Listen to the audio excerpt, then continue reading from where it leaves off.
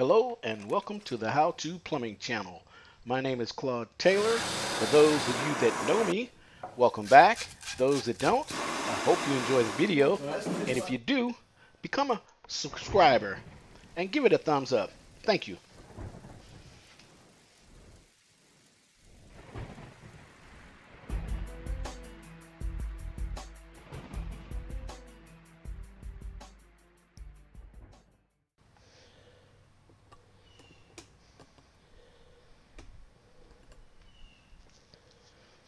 Okay. Now what you uh, see me doing here is uh, I'm going to uh, screw this is uh, PEX uh, drop-eared 90 is what they call it. Um, they also make it for copper pipe and they're still a drop-eared uh, 90 but this is a drop-eared 90 PEX fitting. And the carpenters put uh, on the siding of the house they put uh, plywood which is good. It works out great for me. Um, there's brick on the other side of this. Um,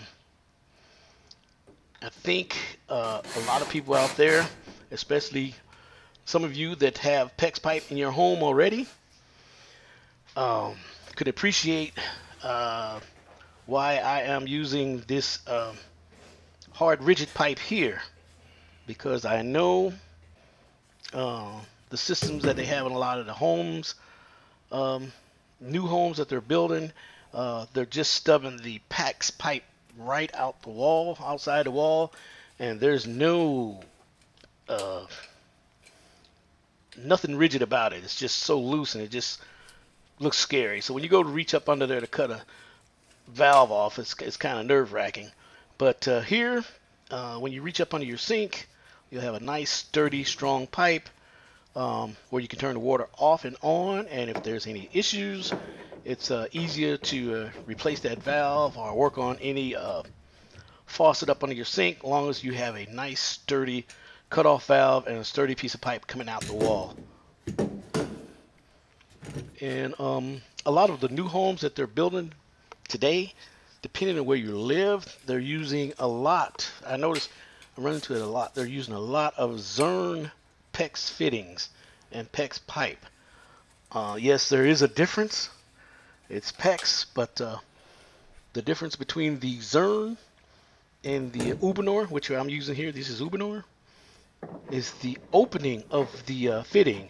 If you look at the uh, wing 90 there, the opening at the top, that is a true half inch opening. It's the same size opening as the pipe itself. Whereas the uh, Zurn, the opening is just a little smaller than that half inch. And a lot of inspectors do, you know, they kind of frown upon that smaller opening. So this is, uh, I would say this is probably the more preferred uh, pipe to use for to be on the safe side with the inspector uh, than the uh, Zurn. Not to say the Zurn's bad pipe, it's just that the uh, the opening and the biggest thing that we find out in uh, plumbing is we need a uh, we, it's, we want to limit water restriction in any pipe. Not too many turns, not too many small areas to fit in. And right here we're going to, uh, this is where we're going to hang our um, shower valve.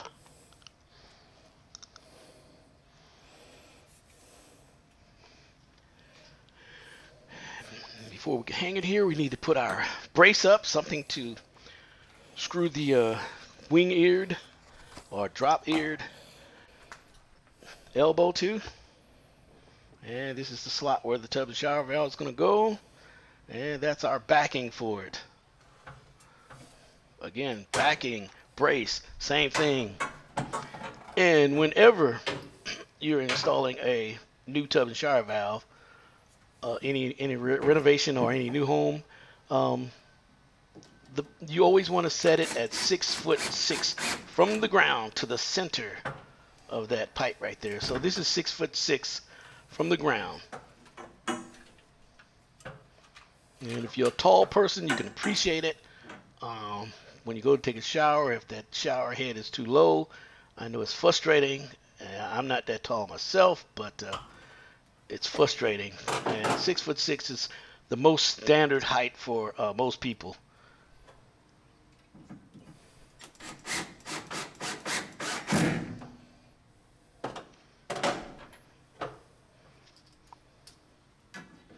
Or should I say, the most comfortable height.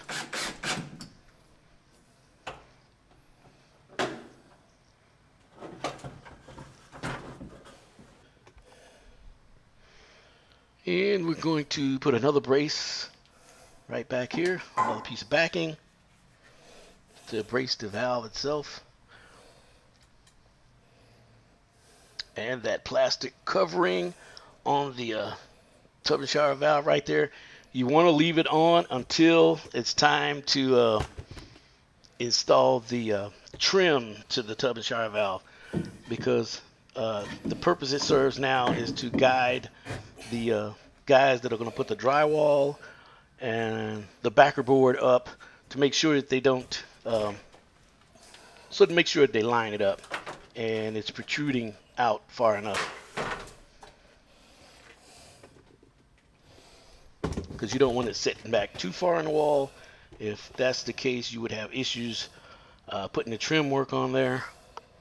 And Trust me, you just don't want you want to make it as close as you can to where you need to go.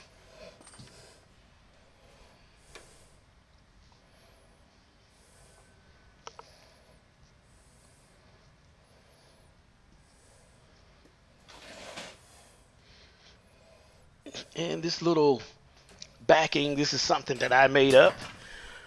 Um, I just took a piece of 2x4 and notched a piece out about the size of the uh, valve itself, um, which I probably should have opened a little more, which I will, the uh, notch, because the uh, PEX uh, fitting is sitting kind of back too far, but we'll take care of that later. But for now, we're going to get this mounted and anchored down.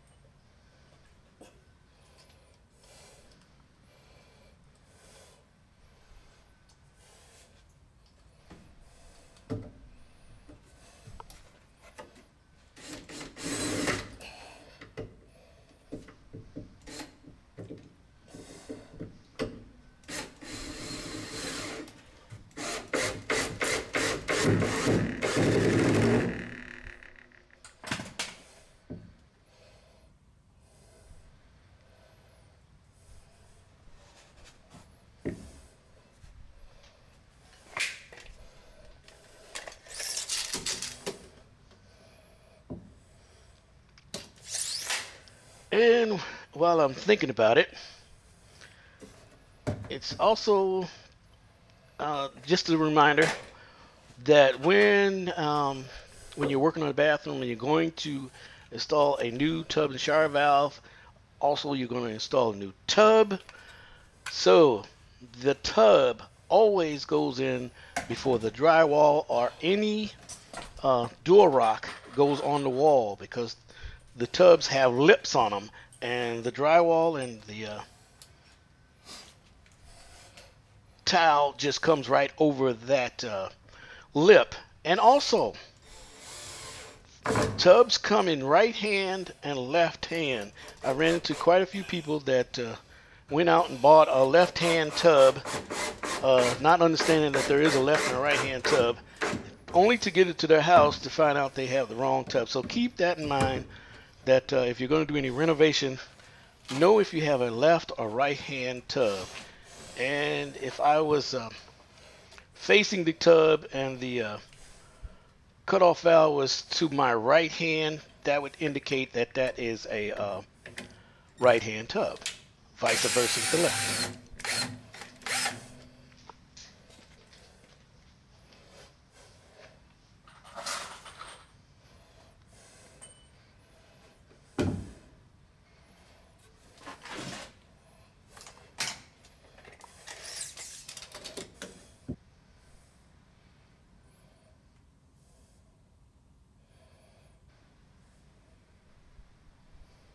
You can see on the uh, right hand side where the uh, piece of PEX of the shower valve is coming out. It's just about to touch that piece of wood. So later throughout the uh, the video, I'll come back and I'm gonna I'm gonna chop off a piece of that so that uh, that PEX pipe will come in there without being jammed up in there.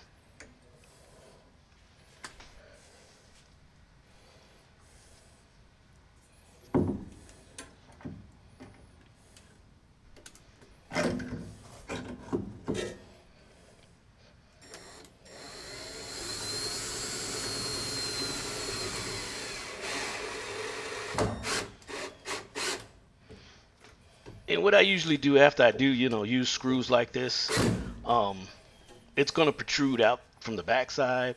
So once I'm done screwing it down, I just take a, a pair of channel lock pliers and I will um, just break off the back end of it real easy and it'll be nice and flush with the uh, board after that.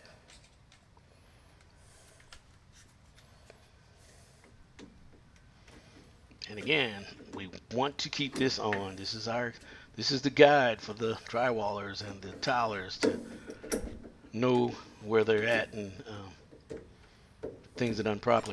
And